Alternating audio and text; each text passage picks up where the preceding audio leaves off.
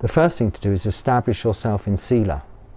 If you keep the precepts, if you are developing wholesome mind states and reducing unwholesome mind states throughout your activities, all of your actions of body, speech, and mind, you will only make friends, not enemies.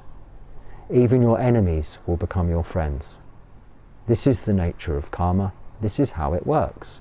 Be good, and you will receive good things. But if you're bad, then you will only receive bad things.